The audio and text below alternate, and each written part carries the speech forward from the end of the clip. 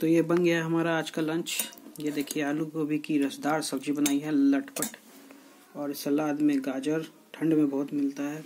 और ये मेरा फेवरेट अमरूद। इसे खाएँगे हम रोटी के साथ। ओवरऑल ये है हमारा आज का पूरा लंच तो सलाद में चलो, थोड़ा नमक डाल लेते हैं साल्ट पे की तरह। ये देखिए, थोड़ा थोड़ा नमक डाल दिया हमने इसमें। ये बहुत मीठा है। टेस्ट आ जाएगा एकदम तगड़ा वाला नमक डालने से। ये थोड़ा सा मीठा डाल दिया। ठंड में नमक में ये अमरूद में नमक डाल के ही खाना चाहिए, इससे कि इसका जो, ये थोड़ा ठंडा फल होता है। तो आपको जो काम वगैरह, जल्दी नहीं होगा ये खाने से। और ये तो सब्ज़ी अभी हमने बनाया, अभी गोभी है, आलू है तो शानदार सब्ज़ी, रोटी बना दिया है हमने। तो ये है हमारा आज का ओवरऑल खाना। चलिए, खाते हैं और देखते हैं कि ये कैसा बना है।